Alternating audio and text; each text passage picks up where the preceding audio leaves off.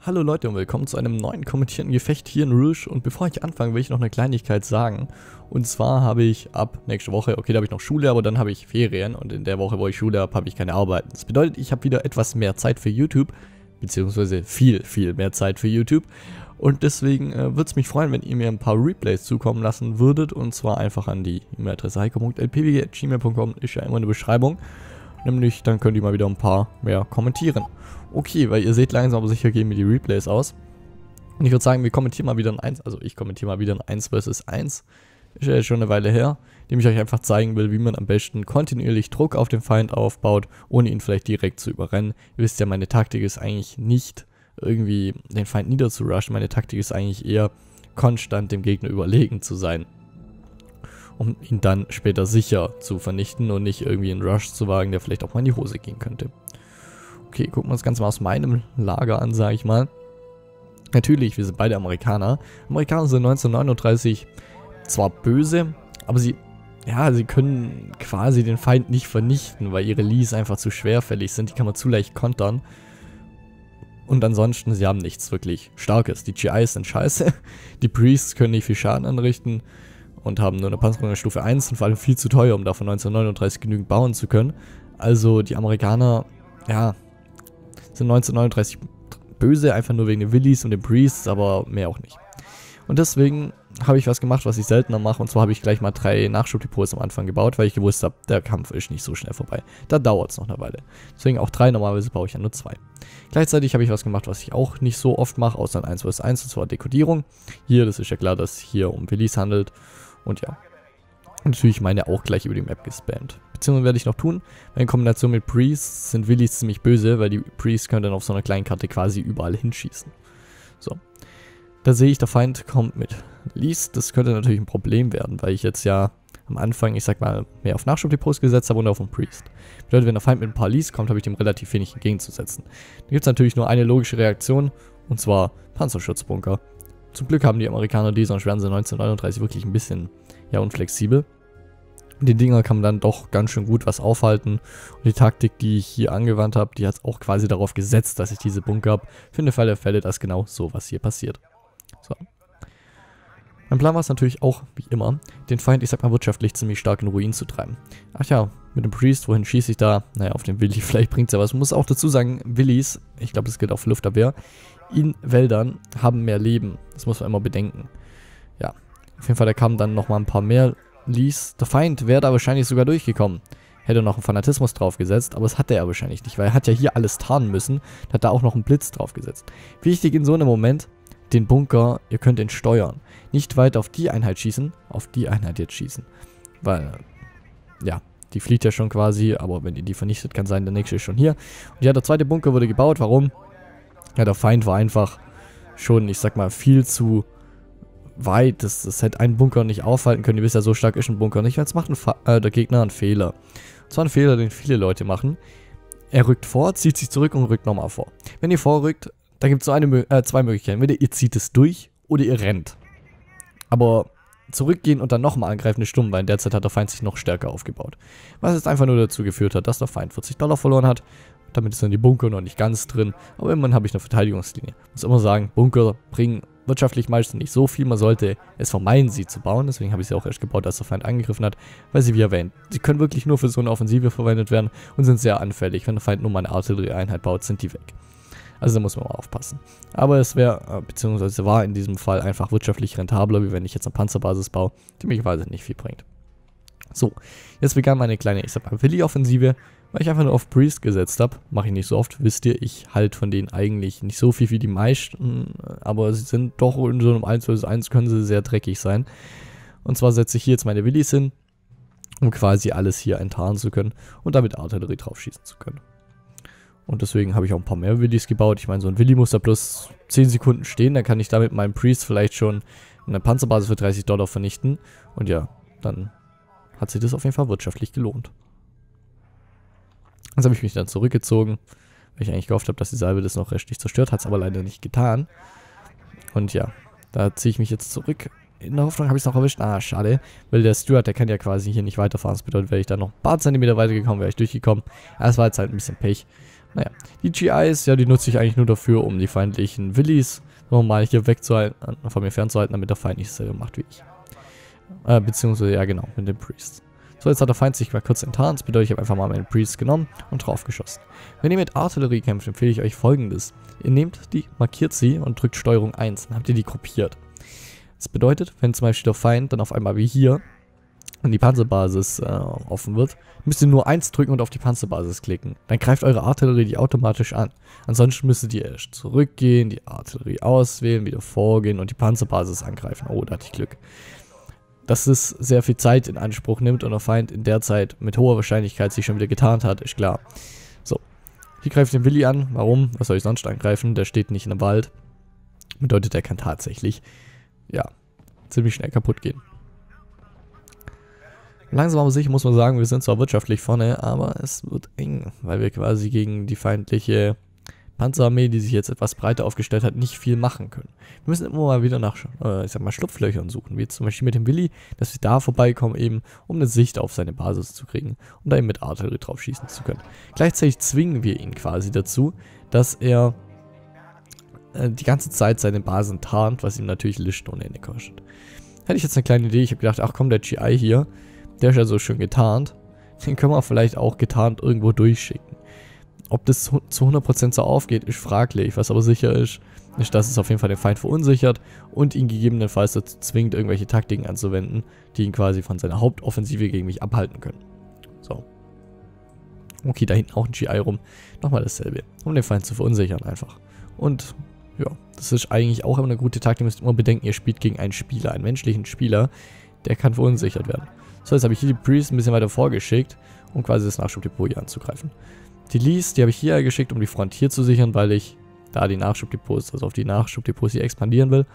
Und ja, ich meine, die sind da schon ganz praktisch, so ein paar Lease.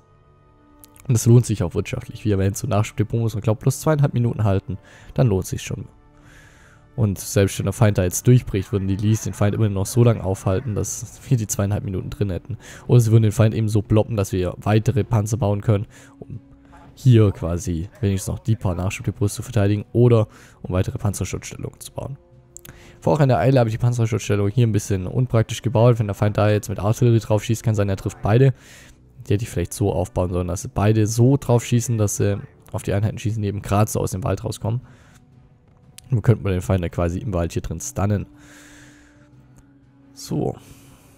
Gleichzeitig habe ich immer mal wieder versucht, das ist im totalen Krieg wichtig, 1945-Modus bringt es quasi nichts, aber ich habe versucht, immer mal wieder Schaden anzurichten. So, jetzt haben wir den Vorteil, dass der Feind eben erstmal hier durch, die, durch das Nadelöhr hier durch muss. Bedeutet, ich sag mal, seine Reaktivpanzerung namens Lees hat ihm nicht viel gebracht, also eigentlich gar nichts. Warum er sich hier jetzt zurückzieht, weiß ich nicht. Erfahrungsgemäß wäre da vielleicht sogar durchgekommen. Aber ich habe weitere Lees produziert. Und ja, das Nachschubdepot hier eingenommen. Und nochmal Nachschubdepot wie erwähnt. Ich habe die Stellung jetzt quasi gesichert. Die Offensive läuft auch eher beim Feind, wenn man sich mal hier die ganzen Infanterieeinheiten anguckt. Ich kann in seine Basis feuern, das bedeutet, er ist stark unter Druck. Ich habe wirklich keine Probleme, jetzt Nachschubdepots zu bauen. Das wird seine geringste Sorge sein. Wie erwähnt, die meisten Spieler können sich vielleicht auf eine Sache konzentrieren, maximal zwei. Und wenn man vom Priest beschossen wird 1939, dann juckt es einen meistens relativ wenig, ob der Feind jetzt da nochmal ein Nachschubdepot eingenommen hat oder nicht. So, und das meine ich. Ihr müsst kontinuierlich Druck auf den Feind ausüben. Die ganze Zeit. Ihn dazu zwingen, Fehler zu machen. Oder auch vielleicht, was eine ziemlich hohe Kunst ist, müsst ihr auch schaffen, dem Feind quasi eine Übermacht vorspielen. Also, dass er da nicht durchkommt, obwohl er eigentlich durchkommen würde. Funktioniert natürlich bei extrem erfahrenen Spielern nicht mehr. Ich meine, so zwei Bunker können den Feind schon mal dazu veranlassen, dass er denkt, er kommt da niemals durch. Obwohl so ein Bunker, der kann zweimal schießen, da ist er kaputt. Also, ja. Ich habe aber weiter Nachschubdepots gebaut, weil ich gewusst habe, der Kampf, der dauert noch eine Weile.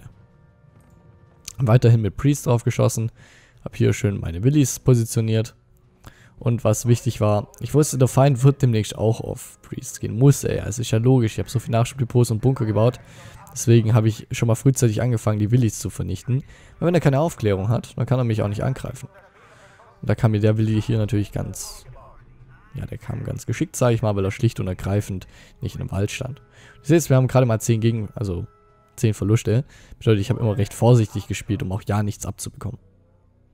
So, ich habe, ich sag mal, eine Lücke in meinem System entdeckt, in meiner Defensive, und zwar hier oben. Da könnte der Feind locker durch. Da habe ich ein paar viele Nachschubdepots.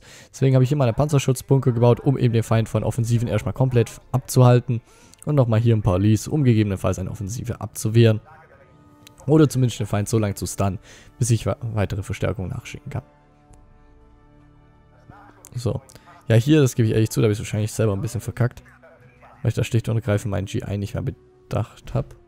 Den hätte ich in der Zeit eigentlich gut hier rüber schicken können. Wobei, nee, da wäre ein Stuart gestanden und da hätte ich ihn neu tarnen müssen.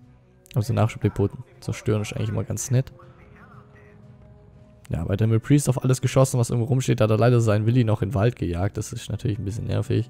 Weil der Willi deckt hier quasi alles auf. Der Feind kann da schön reinfeuern. Wenn wir uns jetzt mal die Basis vom Feind anschauen. Ja, das sieht aber auch zum Teil gar nicht, dass ich hier Nachschubdepots belegt habe. Oder? Ja, genau. Die habe ich ja belegt, alle, und das sieht er kaum. Beziehungsweise, ja, ein erfahrener Spieler wird es daran sehen, dass hier das Geld abnimmt. Aber ja, das hat wahrscheinlich nicht bedacht.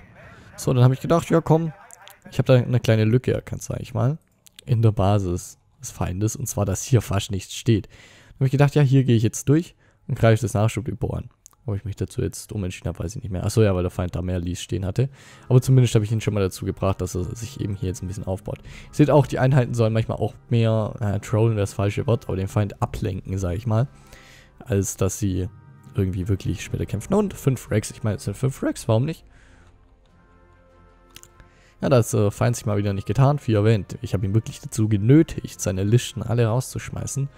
Und deswegen konnte ich immer mal wieder seine Nachschubdepots vernichten. Das Nachschubdepot von ihm einzunehmen, klar, er muss es tun, aber wenn er weiß, er kann es nicht verteidigen, sollten wir es nicht machen. Das sind dann verlorene 40 Dollar. So, hier noch ein bisschen Schaden angerichtet beim Feind. So, und hier bin ich dann einfach ganz schnell weg. Ich habe mich auf den Kampf gar nicht eingelassen. Am Anfang.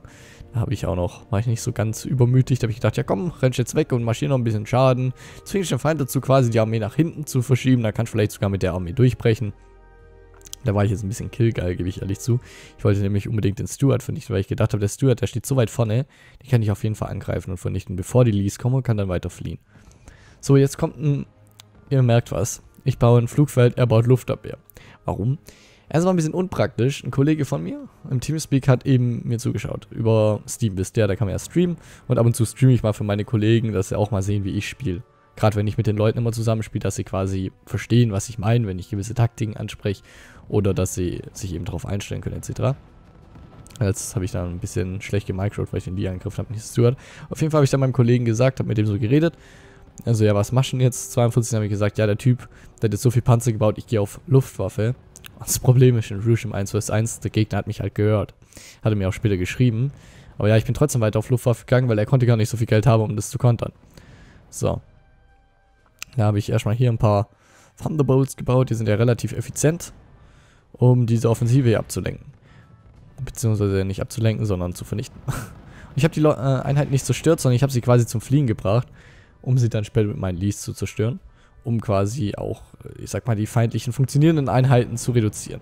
So, das war jetzt hier ein bisschen eklig, da hat der Feind dann eben die gute Luftabwehr gebaut. Die haben erstmal meine Thunderbolt-Armee quasi vernichtet. Einer kam durch, aber ja, wirtschaftlich ging es gerade eben total in die Hose. Und quasi mein Trick 17 ist nicht aufgegangen. Da der Feind mir zugestanden hat, dass er mich gehört hat, habe ich gewusst, okay, Luftwaffe muss jetzt gar nicht weitergehen. Ich baue Wolverines. Das wäre dann so Plan B gewesen. Einfach Panzerzerstörer. Was machen wir, wenn der Feind die ganze Zeit auf Panzer geht? Ja, man baut Panzerzerstörer, sind relativ günstig und unglaublich effizient.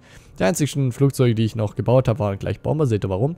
Ähm, und die Thunderbolts, wo ich noch hatte, um quasi die Flanken anzugreifen. Weil Luftabwehr hat immer den Nachteil, sie kann nur einen Bereich schützen und nicht die komplette Front. Bedeutet, ich habe gehofft, ja, wenn hier irgendwo was rauskommt, kann ich es mir einfach mal schnuppen. So, jetzt baue ich Bomber, warum baue ich Bomber? Ah, und ein Thunderbolt. Der Thunderbolt, ganz einfach, der geht rüber und diese M16, die ja jeder für so unglaublich OP hält, schießt auf den Thunderbolt. Danach kommen meine Bomber und äh, wenn wir uns die Einheit anschauen, die hat keine Panzerung, die fliegt da einmal drüber und dann ist rum. Und ich habe schwere Bomber, sehr schwere Bomber, Flying Fortress. Das sind die einzigen Bomber, die sich teilweise gegen Jagdflieger verteidigen können. So. Da die feindlichen Einheiten sowieso enttarnt waren, ja, lief das eigentlich ganz gut. Und ihr seht, das ist jetzt eigentlich, ich habe gewusst, dass ich gewonnen habe, sonst hätte ich so eine Aktion nicht gerissen. Und zwar einfach die Jagdbomber vor, Feind greift die Jagdbomber an, die Bomber hinterher, natürlich mit Blitz und Fanatismus. Und das war es dann für den Feind. Der konnte nichts mehr dagegen machen. Die komplette Luftabwehr vom Feind war erledigt. Die Panzerarmee wurde quasi schon ausgekontert durch die Panzerabwehr. die, wie ihr gleich sehen werdet, ziemlich reinhauen wird. Und ja, da oben gibt es eine Offensive, die, gegen die der Feind gar nichts hat quasi. Also wir haben ihn unter anderem auch noch ausgespielt von der Front her. Und wir können ihn munterfröhlich mit Artillerie beschießen, während wir einen wirtschaftlichen Vorteil haben. Das Gefecht ist quasi gegessen. Und zwar sowas von. Jede einzelne Taktik, die ich euch gerade eben gesagt habe, also von wegen Ausspielen oder Übermacht haben oder den perfekten Konter oder die feindliche Basis mit Artillerie beschießen können, wäre eigentlich schon ein Punkt, dass man gewonnen hätte. Ja. Was man auch sagen muss, Wolverines können im Fahren schießen. Äh, das ist ein ziemlich großer Vorteil, und zwar ein extremer Vorteil. Und sie haben bedeutend höhere Reichweite wie so ein Lease. Bedeutet, man kann sie einfach hinten aufstellen und die werden gar nicht beschossen. Man schickt hier seine Lease vor. Wichtig, nicht in Fanatismus. Wenn sie anfangen mit Fliehen, dann gehen sie automatisch aus dem Gefecht raus und kriegt quasi keine Verluste. Während die Wolverines dahinter stehen und munterfröhlich außerhalb der Reichweite vom Feind draufschießen. Ja, die Wolverines hier, ja, da war ich recht optimistisch. Ich habe gedacht, der Feind kommt eh nicht durch. Hat er dann im Endeffekt auch nicht, aber nicht, weil er nicht durchkam, sondern weil er eben eingesehen hat, das hat keinen Sinn mehr. Ich meine, ich habe nebenher auch noch mit Artillerie in seine Basis geschossen, weil er schlicht und ergreifend sich nicht mehr tarnen konnte. Okay, dann war es mit dem Gefecht. Jetzt kommen wir noch kurz zum, zur Nachbesprechung, die sich irgendwie nicht so viele Leute anschauen. Ein bisschen schade empfinden, was eigentlich ganz interessant ist, meiner Meinung nach. Aber ja, hier gucken wir uns mal die Verluste an. Ich habe ziemlich darauf geachtet, kaum Verluste zu bekommen. Ich habe verloren meine zwei Bunker. Das war aber klar, darauf habe ich mich eingestellt, schon als ich sie gebaut habe, dass der Feind sie irgendwann mal mit Artillerie vernichten wird. Aber gleichzeitig war es auch ein Anreiz, den Feind dazu zu zwingen, Artillerie, Artillerie zu bauen, die ihm nicht viel bringt. So, einen Panzer, einen Panzer, den ich übermütig davor geschickt habe, aber der hat sich gelohnt, der hat nämlich ein Nachschubdepot zerstört und natürlich die Luftwaffe, die vom Feind ausgecountert wurde. Der Feind hat Unmengen an Panzer gehabt, die ihm zerstört wurden und man sieht, die Artillerie und eben die anderen Aktionen, die den Nachschubdepots vernichtet haben, hat auch ganz schön viel gebracht. Frakes, ja, das wird jetzt einfach umgekehrt sein. Bunker haben sich rein wirtschaftlich gelohnt, zwar mit einer 2er Frag Rate, warum nicht? Und die Einkünfte waren natürlich bedeutend höher, einfach nur, weil ich bedeutend mehr Nachschubdepots hatte. Okay, aber das äh, muss man auch nicht, das muss auch noch nicht viel heißen. Man kann auch mit weniger Geld gewinnen. Wie ihr gesehen habt, er hat vorher mit ein paar Dollar Luftwaffe meine gesamte Luftwaffe zerstört. Hat damit nicht nur die Luftwaffe zerstört, sondern auch die 60 Dollar, die ich für das Flugfeld ausgegeben habe, komplett gekontert, weil das war ja dann useless quasi. Okay, und dann war es soweit mit diesem Gefecht. Ich hoffe, es hat euch gefallen. Schickt mir Replays. Und würde ich sagen, bis zum nächsten Mal. Ciao, Leute.